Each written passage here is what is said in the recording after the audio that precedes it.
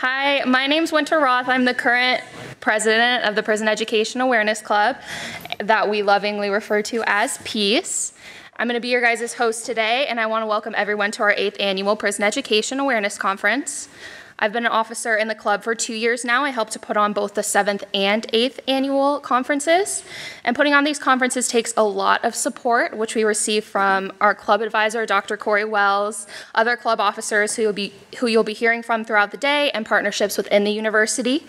I want to quickly thank the Department of English, the School of Mathematical and Statistical Sciences, the School of Social Transformation and Undergraduate Student Government for providing funding and support for this year's conference.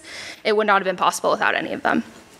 And then I had a few quick housekeeping notes for everyone before we jump in. Um, throughout the day, we're going to be taking photo, photos, and the whole conference is going to be video recorded. Um, so we do need you to fill out a photo release form. They're at the front, and we're also going to distribute them during lunch. So if you haven't signed one, just make sure you sign one. And before you step out for the day, please drop them off at the front so that we can use your photos. And if you're caught in the video, it's okay for us to post them. And then we also provided you with a small review form for the conference. Those are also located on your tables. So if you happen to leave early, if you could drop those off at the front on your way out, that would be great. Um, it helps us in preparing for future conferences. And before I turn the conversation over to Dr. Wells, I wanted to give you guys a quick overview of the conference today and why we continue to put it on every year. We're going to be hearing from a variety of different speakers, some of which who have traveled across states and across the country to be here today. This year's conference focuses on hearing about the effects of incarceration from different populations, including those who have directly experienced incarceration and those who devote their time to helping former inmates. More than anything, we hope that today helps to establish a discourse between those in attendance in one way or another. We hope that the conversation will bring forward and will continue in your lives for at least some time after we leave today.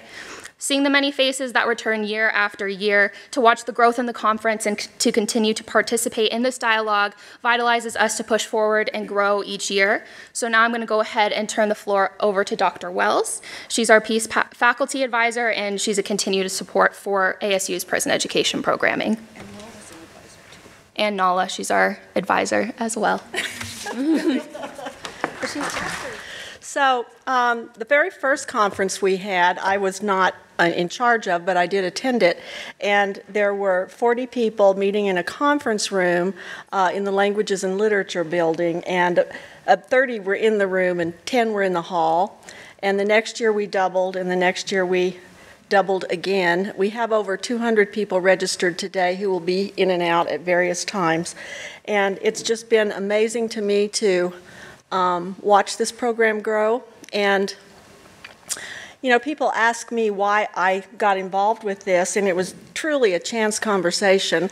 I don't have relatives in prison or friends in prison, but um, once I started doing it, I couldn't get out of it. It you just uh, it's what you do because uh, well, there's a reason. And this is uh, Iron City Magazine, which I started with one of my students. Um, a couple of years after I got involved, and it just publishes work by um, prisoners and their families and prison educators. And uh, in the introduction, I kept getting asked what I, why I would do this. Why would I come up to Globe, for instance, uh, and drive all the way up there, five hours up and back, to teach a two hour workshop? And there is a reason, and I think that it's really well articulated by Bryan Stevenson, who is a social justice attorney. And his book, uh, Just Mercy, it's a phenomenal book. It's like one of my favorite books I've ever read, actually. Um, he writes We are all broken by something.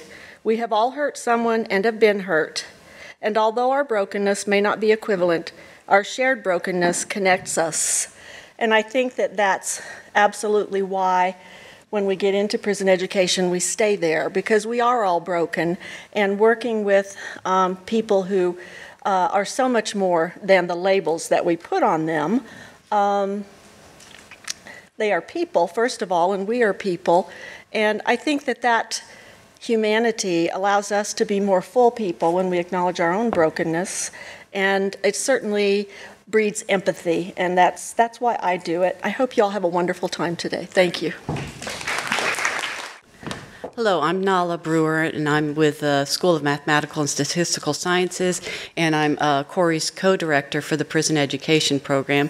Um, as she stated, the program has grown exponentially over the years, and so um, it's gotten so large at this point that I came in to start to learn the ropes. Um, the way that I got involved was I had originally done some outreach work um, through a church that I was going to years ago, which um, we brought in uh, classes to Tent City. And um, at the time, I had a lot of trepidation. I had no idea what to expect. Um, and then I realized after going a couple of weeks that uh, there was nothing to be fearful of. You know, they have all these rules in place. And then I got to see the, the lives that I was changing and the lives that I was touching. Um, of course, Tent City shut down. And so I'd been kind of hoping that I could find something that meaningful again. And then when our department chair sent out an, an email soliciting volunteers for prison education, I thought, oh, that's exactly what I'd want to do. Because um, I like to do things that actually make a, a difference. And, um, and I've been able to see uh, by doing the prison education program uh, the lives that we're touching. Um, I have one student that um, we brought in a number of books that were donated, math books, from one of our um, professor emeritus um, who had retired. And one of the students took it upon himself, without me even encouraging him to do this, to write a 300 page investing book to help his peers when they get out to manage their finances and then to be able to plan for retirement. And um, this semester, we've been able to cut, cut, cut out some of our time so that he can actually um, start teaching that. Part of our class is he teaches the investing, and then we show the mathematics behind that. The other thing that we've been able to do this year is to get a few more institutions. We have the Indian Department of Corrections um, out in Pima, Maricopa County. We have Phoenix Prison. Um, we have Lewis Prison. So now we have seven different prisons, and we're just hoping that it just keeps and Adobe, yeah, Adobe Mountain uh, uh, for juveniles. Um, so we're just hoping that it keeps growing, and the, it not only does it touch the the prison inmates' lives, but I think it makes a, a lifelong impact on the students that volunteer for this. And um, and I think we're at a tipping point in our society. So I'm really excited. I can just feel it. I can feel the momentum that people want to help people that are incarcerated to reintegrate into society, and we're going to be a part of that. So thank you very much for attending. So, welcome. I'm the I'm Al Boggess. I'm the director of the School of Mathematical and Statistical Sciences, and I'm very honored to be here to address this conference. Uh, first, let me have a show of hands. How many are you out of from out of town? Oh, quite a few. Very good. Very good. Well, the weather is looking like it cooperates, so you'll be able to experience a wonderful winter Arizona day. So, welcome to all of you. Um, I first learned about the ASU volunteer prison education efforts uh, through Joe Lockard and the former chair of English, uh, Mark Lussier, uh, about four, four or five years ago. Uh, they asked me if mathematics would be willing to join the effort that they had started uh, long before, and uh, they quickly introduced me to Corri Wells. And right from the start, I was just captivated by their enthusiasm and their energy for this program. It was really a delight to see. Um, and, and, and really, since that time, I've been a fan ever since. Uh, as we all know, education is the key to helping prisoners break out of the cycle of incarceration and prevent recidivism. Math, along with English in particular, are subjects which are crucial to the success of students not only here at Arizona State, but for the prison education program in general. Uh, I helped then to organize volunteers from our school, both uh, faculty and students, to volunteer their time in the prison, teaching subjects from developmental math all the way through calculus.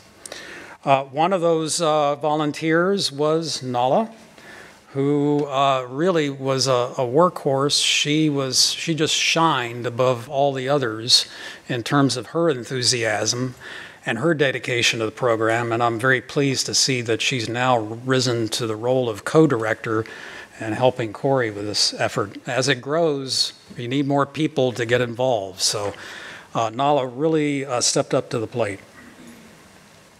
Uh, I applaud this conference series, which is now in its eighth year, as I understand, and sponsored by the Arizona Prison Education Awareness Club and run by students. So that's, that's marvelous to get the student involvement. Uh, this conference offers the opportunity to hear from several keynote speakers. It also allows folks from across the nation who are involved in similar such volunteer efforts, both to learn from what they do, sharing what we, we know, and also to network and get to know each other. So I think that's a, a great thing. So I wish all of you a, a, a marvelous conference day and enjoy the wonderful weather. And I hope you have a wonderful time here. Thank you. Good morning. I'm Krista Ratcliffe, chair of the English department. Uh, this is my second year in Arizona. I moved here from uh, Indiana, West Lafayette, for, to be specific. It was built on a swamp. This is not a swamp. I'm learning to acclimate. Uh, one of the things that uh, I admire about ASU is this prison education program. Um, in fact, we're trying to get it structured a little bit more so that its history, which was dependent on the kindness of strangers building this up, um, will be structured into the department so that it can go on for several years, right? Regardless of who's in charge. But speaking of who's in charge, I can't continue without saying a big thank you to Corri Wells, who has just been tireless in her uh, defense of this, not just this conference, but the program and the Penn internship. And um, the prisoners themselves. Uh, Naala, I just met, although I've heard lots about her. Um, there's a couple English faculty in the audience Joe Lockard, who was instrumental in uh, uh, developing this program, and Elly Van Gelderen, who's been uh, teaching in the program for many years. Um, I don't want to um, repeat anything Al said. I want to echo it, though, and say that I agree with everything he said, and I thought he gave a wonderful broad picture. Uh, but I thought it might be appropriate for me, since I'm new here and you all know more about this program, frankly, than I do, I'm learning, but uh, I'm not pretending that I'm an expert on it.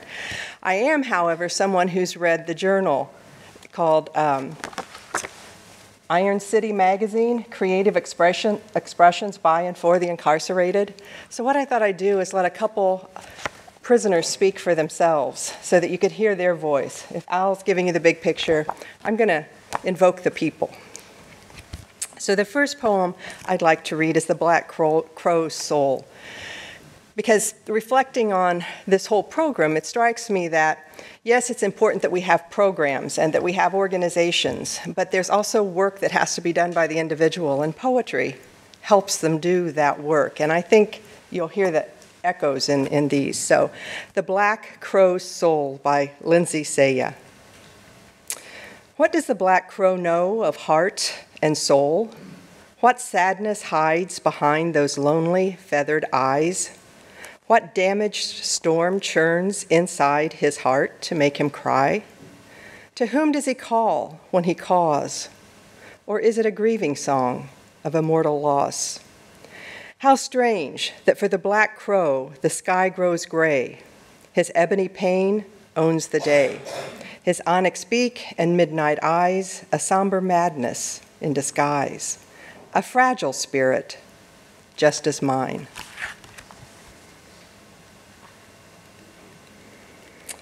The second poem I would like to read is uh, called Dear America. I'm writing you today, a lost voice from prison, lost and confused about this country we live in and the people that are in it. How do you claim to be united when there's so much division? So much division based on religion, based on our culture, our sex, and our pigment. Oh, America, how could you be so selfish and ignorant? To allow a man of this nature guide us with ignorance on a path to destruction? I pray for deliverance for the colored, for the poor, for the Muslim, and the immigrant. Oh, America, oh, America, you have shown your colors. How many years in your country will my people suffer? I shed tears for my brothers, my sisters, and my mothers. The words that you utter have exploited your cover. You, America, have proven racism still exists. The leaders of your nation consist of white supremacists. There are those who follow them and those who are against. a war within your people, your countries at risk. I fear for you, America, but I pray that I am wrong. Sincerely yours, Emmanuel Swan. Thank you.